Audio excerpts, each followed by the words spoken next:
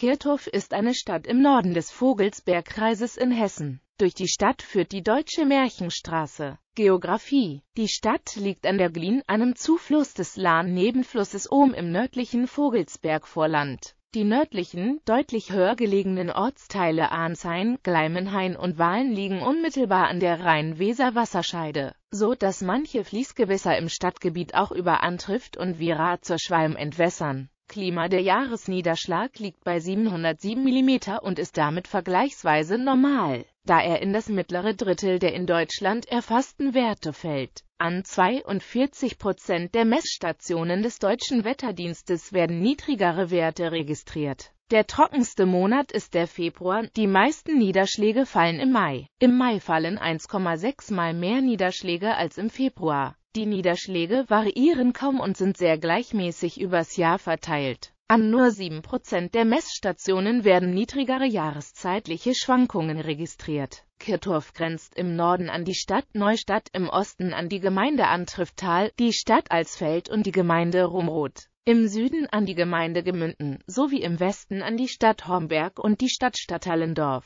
Die Stadt besteht neben Kirchhoff aus den Stadtteilen Arnshain, Gleimenhain, Heimatshausen, Leerbach, Oberglien und Wahlen. Geschichte In einer Urkunde aus dem Jahr 917 tauscht der Abt von Fulda mit einem Grammann seine Grundstücke, darunter alle Grundstücke zu Glenne, UBI Ecclesia Edificata est, also zu Glenne, wo eine Kirche gebaut ist. Da Kirchhoff Sitz des Cent-Gerichts der Gliener Mark war, müsste seine Kirche älter als die der umliegenden Orte gewesen sein. Daher ist es naheliegend, dass mit Gelände der Ort gemeint ist, der die älteste Kirche in der Gemarkung hatte, also Kirchhoff ist gleich Kirchdorf. Jedoch ist eine letzte Klärung nicht möglich, so dass niederkleine Heimatforscher die Urkunde auf ihren Ort beziehen. Bei dem Ortsteil Leerbach befindet sich die Ruine der Burg Leerbach aus dem 12. Jahrhundert. Ab 1205 gehört der Ort zur Abtei Fulda. Nach einer Urkunde von 1323 hatten die Grafen von Ziegenhain den Kirchsaß zu Kirchhoff. Zum Kirchengebiet gehörten etwa 40 Orte. Nachdem die Grafen von Ziegenhain ausgestorben waren, fiel Kirchhoff 1450 an den Landgraf von Hessen. Für die Orte außerhalb Kirchhoffs bestand keine alleinige Gerichtsbarkeit des Landgrafen, sondern gemeinschaftlich mit den Freiherren von Schenk die Stadtrechte können in das Jahr 1489 zurückdatiert werden. Am 1. April 1725 brannte die Stadt fast vollständig nieder, lediglich das Rathaus soll unbeschädigt stehen geblieben sein. Es wurde allerdings Ende des 18. J.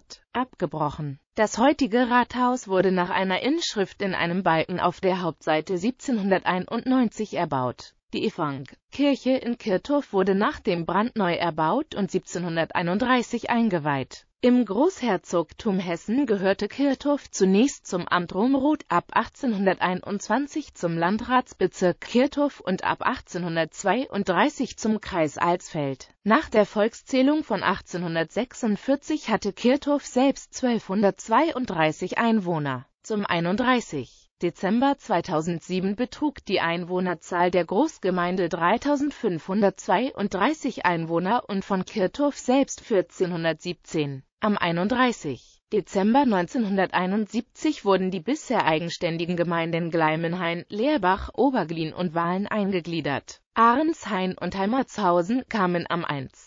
August 1972 hinzu. Kirchhoff in den Schlagzeilen Im Jahre 2004 kam die Stadt Kirchhoff durch regelmäßige Neonazi-Treffen auf einem Bauernhof in die Schlagzeilen. Das ARD-Magazin Kontraste hatte einen Filmbeitrag gezeigt, in dem rund 250 Neonazis der Kameradschaft Berserker Kirchhoff laut grölend judenfeindliche Lieder einer Neonazi-Band mitsangen da die Veranstaltungen in einem schalldicht isolierten ehemaligen Stallgebäude stattfanden und als privat deklariert waren, konnten sie nicht ohne weiteres durch die örtliche Polizei unterbunden werden. Im Jahre 2004 wurde auch das Aktionsbündnis gegen Rechtsextremismus Kirchhoff von Kirchhoffer Bürgern gegründet dass es sich insbesondere zum Ziel gemacht hatte, die Neorechten aus der Stadt zu verbannen und derartige Großveranstaltungen fernzuhalten. Dessen ungeachtet fanden aber in den Folgejahren in Kirchhoff mehrere Zusammenkünfte statt, welche mit Geldstrafen geahndet wurden. In Kirchhoff fand auch die Feier zum 20 Geburtstag der Borussen von Stadt, bei der auch die Band Kategorie C auftrat. Inzwischen gilt Kirchhoff nur noch als früheres Mekka der Szene. Die Aktivitäten der Berserker sind mittlerweile nicht mehr öffentlich und das Personenpotenzial hat sich drastisch reduziert. Auch die Kirchhoffer Rechtsrockband Gegenschlag, welche einst ein großer Name in diesem Genre war, ist seit einiger Zeit inaktiv. Politik. Die Stadtverordnetenversammlung Kirchhoff zählt 23 Stadtverordnete. Die Kommunalwahl am 27. März 2011 lieferte folgendes Ergebnis. Städtepartnerschaften Clip,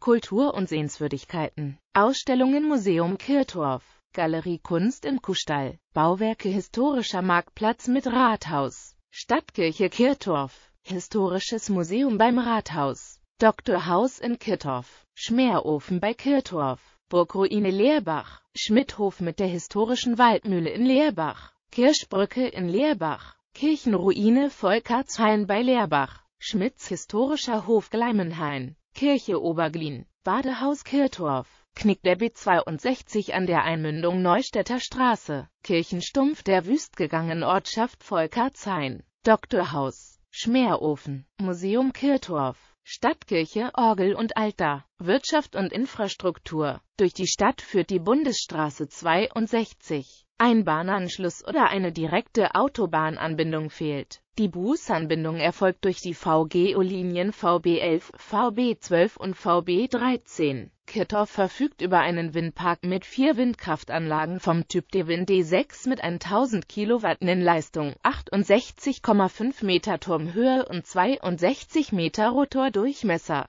die 2001 in Betrieb gingen. Eine dieser Anlagen, die D60077 bei 50 Grad 45 Minuten 40 Sekunden Nord 9 Grad 5 36,6 O, stürzte am 18. Juni 2011 ein. Söhne und Töchter der Stadt. Hermann August Eidmann, Zoologe und bedeutender Entomologe. Adolf Korrell, Pfarrer, Politiker und Minister für Arbeit und Wirtschaft des Volksstaates Hessen. Hauke Lang, Chirurg und Hochschullehrer. Sven Ake Lang, Chirurg und Hochschullehrer. Uwe Lang, Gynäkologe und Hochschullehrer. Konrad Christoph von Leerbach, Ritter des Deutschen Ordens. Ludwig Konrad Graf von Leerbach Kriegsminister und ab 1796 Hofkommissär in Tirol unter Kaiser Franz II